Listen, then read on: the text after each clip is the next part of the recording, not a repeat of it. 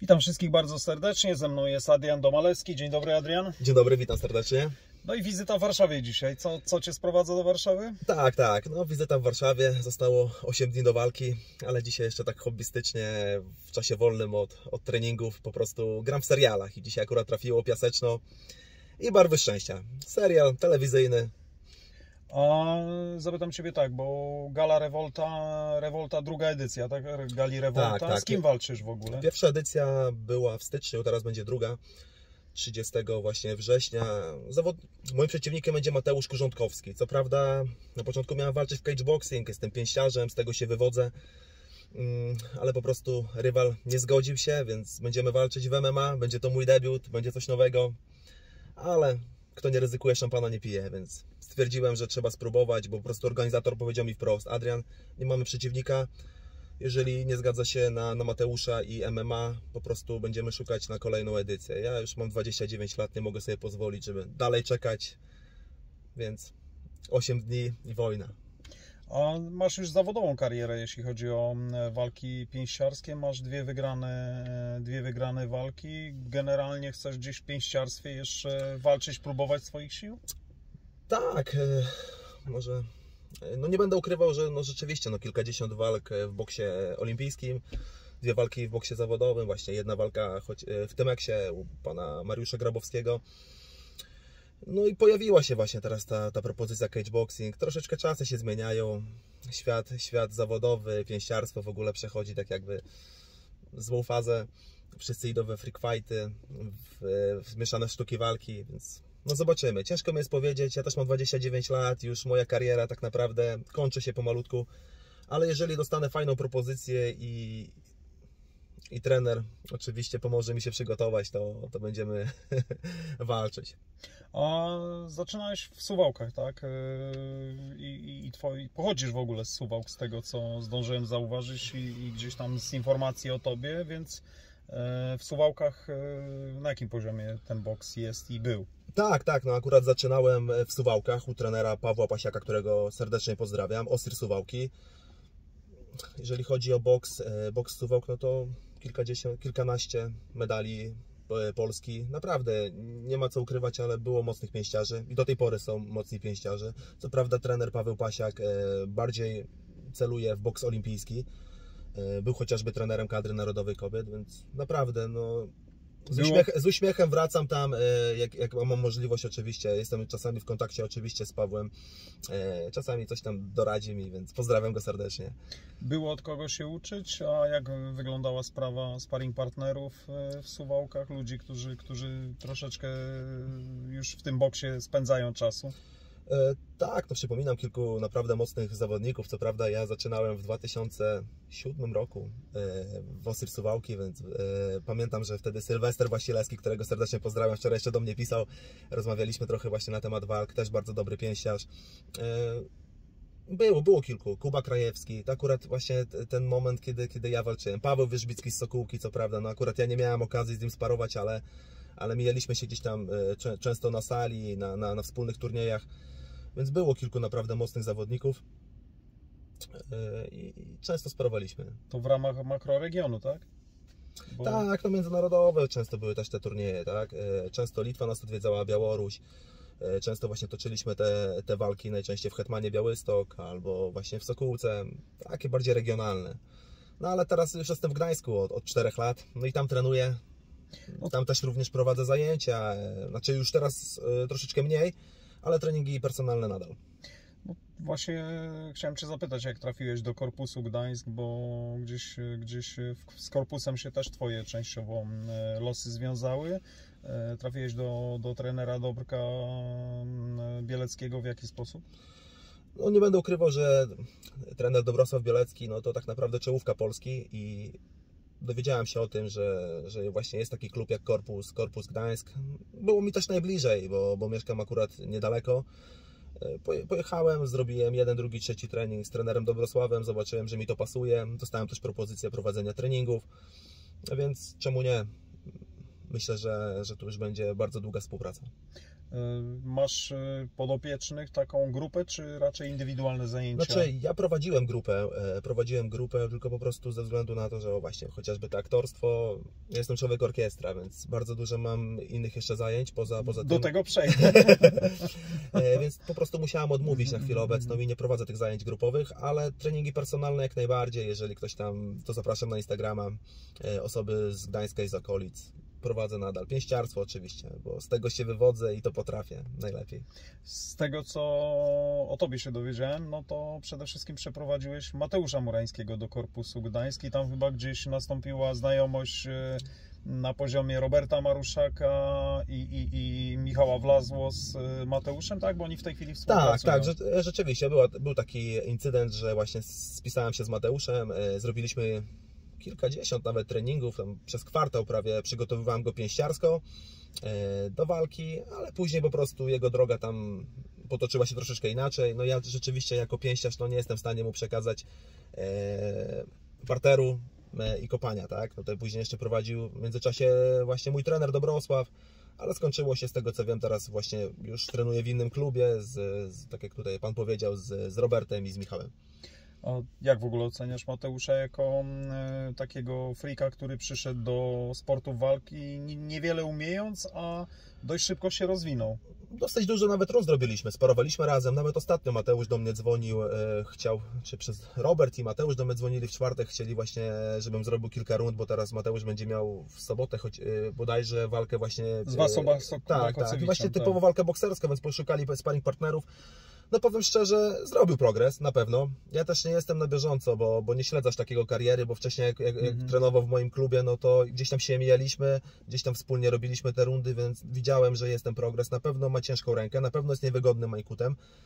Mm, więc zostawię tylko same pozytywy, a jeżeli chodzi o, o, o to, co robi źle, no to nie wiem, mi się wydaje, że może trochę za dużo przyjmuje tych ciosów, może za mocno stoi frontalnie, gdzieś te doły są odsłonięte, ale ja to mówiłem Mateuszowi. To jest kwestia stażu, czy można to wyeliminować Na pewno, bo, trwałą tak, pracę? Tak, tak, bo to, to są akurat takie malutkie niuanse, też nie chcę tutaj oceniać, bo, bo tutaj y, trenerzy są od tego, żeby, żeby gdzieś tam zmienić to, zwłaszcza, że teraz niedługo ma walkę ale naprawdę na, na przełomie tych kilku miesięcy współpracy widzę, że jest fajny progres. No trochę liczyłem na więcej z Arkadiuszem Tańculą, no ale gdzieś tam po prostu, no czasami tak bywa. Może gorszy dzień, może, może coś nie zagrało, może była jakaś kontuzja, o której nie powiedział. To różnie bywa, więc yy, ciężko mi powiedzieć. A jak w ogóle oceniasz ten świat freaków, bo to, to było twoje pierwsze zetknięcie z tym freak fightowym światem, takich celebrytów, e, ludzi, którzy chcą szybko gdzieś nauczyć się walczyć i odnosić sukcesy, tak? No bo takie jest zamierzenie tych freak fighterów. No rzeczywiście, powiem szczerze, na początku byłem sceptyczny, podchodziłem do tego, jak jeszcze dopiero były te pierwsze, pierwsze gale Fame MMA. Później zobaczyłem, że coraz więcej zawodowców odchodzi właśnie we friki i naprawdę zaczęły się pojawi pojawiać fajne walki, chociażby, no teraz wykupiłem też właśnie walkę Artura Szpilki z Denisem Załęckim, to jest z Arturem, mm tam jesteśmy w kontakcie e, i bardzo mu kibicowałem. I powiem szczerze, widzę, że też tam teraz jakaś jest e, malutki konflikt między nimi, więc może dojdzie do rewanżu i mam nadzieję, że Arturek tam wyjaśnisz, nie?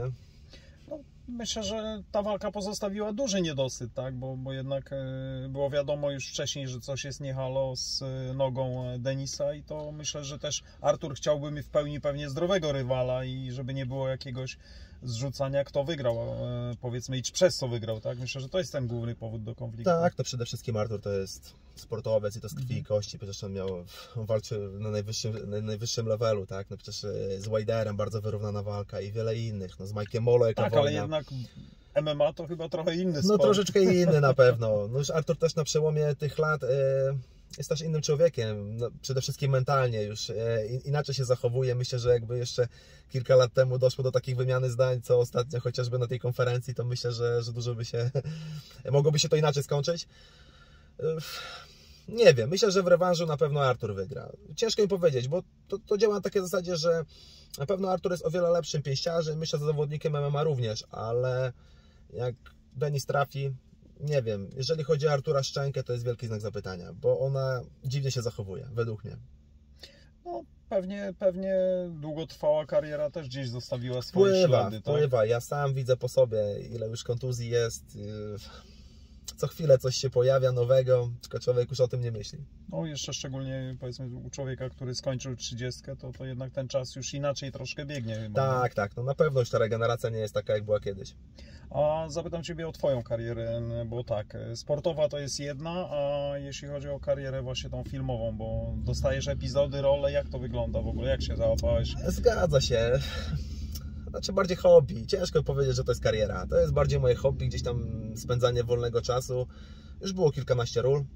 Mm, No teraz mogę też się pochwalić, bo w Lombard życie pod zastaw właśnie, no, tam gdzie Mateusz. Gdzie Mateusz tak? Jarek, tak. Jarek. No to tam gram stałą rolę e, policjanta. Dzisiaj właśnie też w Barwach Szczęścia miałem, miałem e, okazję grać policjanta tam przez kilka odcinków. No zobaczymy, mówię, to jest, to jest bardziej forma e, zabawy, hobby, spędzania miło czasu. A podoba mi się to, to dlaczego mam tego nie robić?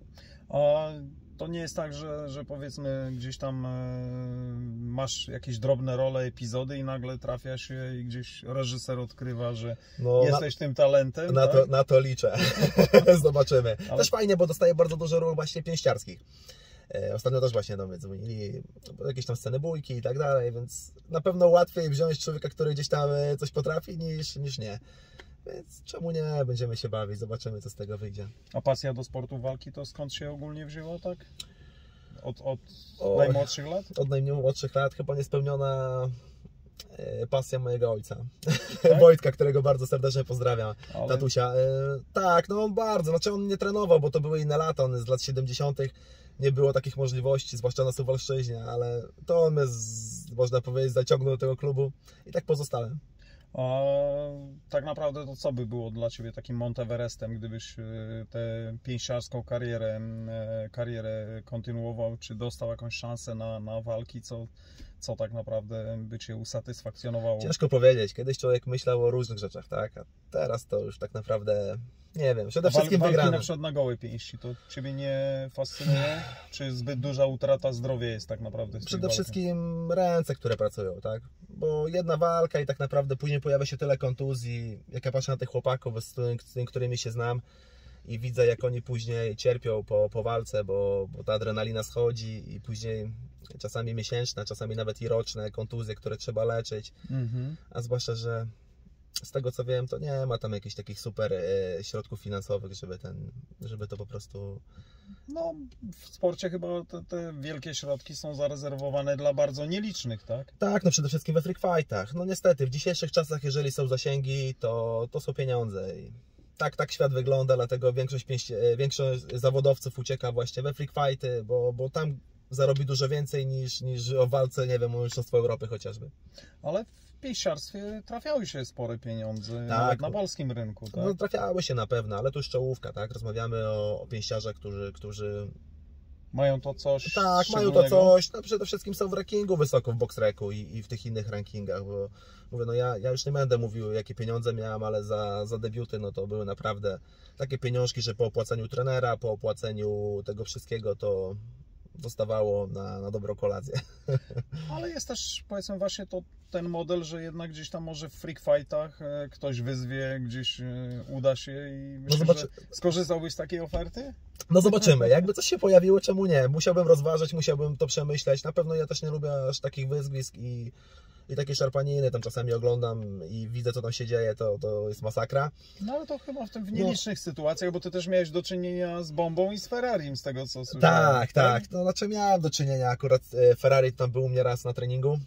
E, Miałem okazję e, pod, poprowadzić go troszeczkę podpowiedzieć pięściarsko. Co prawda wtedy on tam jeszcze miał te problemy z tą prawą ręką, chyba z prawą. Mhm. E, A z Pawłem Bombu, no to znamy się, bo trenował w korpusie dłuższy czas. E, Trenował w korpusie dłuższy czas, zrobiliśmy też kilkanaście rund dosyć często, nawet sobie wzajemnie tarcze nieraz trzymaliśmy, no, ale trochę się inaczej nasze drogi potoczyły. A to masz pozytywne wrażenia, czy, czy tak średnio i, i, gdzieś tam ze sparingów, czy znacie się tylko ze sparingów? Znaczy, znamy się tylko z klubu. Ja, ja nigdy z, e, prywatnie z nim się nie spotykałem, znamy się tylko z klubu. E, nie mamy do siebie żadnych złych emocji. Ja co, kibi- te ja, sparingi były ostre, czy... czy... Bywało różnie, ale Mhm. na pewno jak wychodziliśmy, to dwóch takich charakterniaków, bo Paweł jest też takim e, charakterniakiem, więc jak tam wychodziliśmy, to iskry na pewno szły. Trener Okniński mówi, że to jednostrzałowiec, tak powiedział i no, w walce mu nie wyszło, bo to każdemu może nie wyjść, to się zgodzę, ale, ale w walce gdzieś tam e, bardzo dużo było ostrych, mocnych słów przed i ludzie czekali na realizację i to się Pawłowi akurat nie udało, No, więc pojechali po nim. No, Tak, oglądałem później. tą walkę ze względu właśnie kupowałem na, na walkę Artura Mhm. e, z Denisem e, pay-per-view, więc ogl- A nie na oglądałem. bombę? No, Znaczy powiem szczerze, nie interesuje mnie za bardzo ten świat tak freak fightów. Chciałem Mhm. zobaczyć walkę sportową, bo uważam, że tutaj już było bardziej bliżej walki sportowej ze względu też, że no wiadomo, Pawła też znam, e, zobaczyłem tą walkę, Ferrariego też znam, ciężko mi było powiedzieć, kto wygra. Wyszło jak wyszło, czasami jeden cios kończy. Nie chcę tutaj kopać leżącego, mam nadzieję, że gdzieś tam chłopak się, się odbije i jeszcze wróci na dobre tory, bo bo czasami tak bywa. Gdzieś tam może po prostu praca z psychologiem by się przydała, bo, bo ta min- minuta stania w klatce i nie zadawania ciosów i z jednej i z drugiej strony to tak trochę dziwnie wyglądało, bo jak jest to ochrona, to potrzeba było naprawdę mocno, bo się wyrywali, się szarpali, a jak przyszło do walki, to jeden i drugi stanął. Ale nie chcę oceniać. No naprawdę uważam, że, że było dobrze. Tu gdzieś tam lucky punch. Na pewno walka odbiła się szerokim echem, bo to... E. Na pewno odbiła się, na pewno się odbiła szerokim echem i myślę, że może w przyszłości jakiś rewanż by, by się przydał. A widziałeś jak Paweł wstał, bo było to nagranie, gdzieś tam pojawiło się w sieci i mówił, jaka walka? Jeszcze się nie, jeszcze nie Tak, no walczyliśmy. widziałem właśnie, więc to Myślisz, też że, że, że to faktycznie po takim trafieniu? całkiem możliwe. No, myślę, że był odłączony, bo poleciał na twarz. E, druga kwestia, że to zostają ślady w głowie. I mi się wydaje, że też już Paweł po takim nokaucie, w sumie drugim już, bo z Tarzanem też był podłączony, e, myślę, że po takim drugim nokaucie na pewno to wpłynie mocno na jego głowę. Bo nie mówię, że, że mocno neurologicznie to się zmieni, ale na pewno mocno wpłynie to na, na jego men- mentalność do walki i czuję, że, że będzie jeszcze gorzej. Więc tutaj praca z psychologiem, mam nadzieję, że, że będzie dobrze. To na koniec jeszcze zapytam Ciebie o Twoją walkę, bo to jest jakby klub programu, czyli, czyli Twoja walka i, i to jest kontrolny pojedynek, to jest pojedynek, który ma Ciebie e, gdzieś dać Ci odpowiedź, czy warto w to iść dalej, jak na to patrzysz? Powiem tak, no ja będę walczył z tym Mateuszem Kurzątkowskim. On się Mhm. pojawił. Powiem szczerze, nie wiem nic na jego temat. Podał, że ma rekord 5-1. 5 wygranych, jedną porażkę. Mhm. E, Znalazłem gdzieś w internecie, że 5 lat, około 5 lat temu był brązowy medalista Pucharu Polski. Nie lekceważę. Jest na pewno dużo wyższy ode mnie, bo ma ponad 190 cm wzrostu, więc to też jest inna dyscyplina. Dojdą nogi, dojdzie parter. Na pewno dosyć dużo też słów pada z jego słowy. Mocno mnie zaczepia na tym Instagramie. Ja tam nie jestem dłużny. Z uśmiechem na twarzy czasami. Czyli robicie takie trochę podbudowę freak fightową pod No właśnie nie wiem, chyba on to robi. Nawet wczoraj do mnie napisał Adrian, wstawił jakieś tam właśnie relacje, że ogląda Barwy Szczęścia i napisał Adrian, gdzie jesteś? Ciągle są jakieś zaczepki z jego strony. Też e, wstawił ostatnio, no bo już myślę mogę powiedzieć śmiało, wstawił ostatnio też e, zdjęcie mojej nogi, bo niestety, ale na początku września podczas sparingu nadziałem się na łokieć. No i, i gdzieś tam ten palec nie wytrzymał, w dwóch miejscach mam pęknięcie. Starałem się to maskować. Nie wiem, on twierdzi, znaczy wstawił relację i opisał ją w ten sposób, że, że ktoś z mojego teamu wysłał mu takie zdjęcia i żebym po prostu patrzył z kim, z kim współpracuję i komu co mówię. Nie chcę tego oceniać, nie chcę drążyć. Może, może kiedyś to wyjdzie, jeżeli wyjdzie, to taką osobę na pewno skreślę ze, swoich list, ze swojej listy znajomych, bo myślę, że takie informacje nie powinny wybiegać. A jeżeli chodzi o mój palec i jak Mateusz będziesz oglądał, to nie martw się o palec, martw się lepiej o siebie, bo damy dobrą walkę, mam nadzieję i na pewno ja ją wygram. To co? Adrian, serdecznie dziękuję za rozmowę. Życzę powodzenia realizacji marzeń. Mam nadzieję, że to nie nasza ostatnia rozmowa, bo jesteś ciekawym rozmówcą, więc e, myślę, że nie jeden raz przedyskutujemy. Tym bardziej, że masz znajomość e, i kickbokserskiego świata, i bokserskiego. I jak widać, w freak fightach dość dobrze się orientujesz. Ja również dziękuję Panie Tomku. Lubię z Panem robić, znaczy pierwszy raz w sumie robimy, ale lubię, lubię Pana oglądać, lubię Pana słuchać. Bardzo fajnie Pan prowadzi te wywiady i do następnego. Bardzo Miło dziękuję. mi, dziękuję bardzo. Dziękuję serdecznie. Pozdrawiam.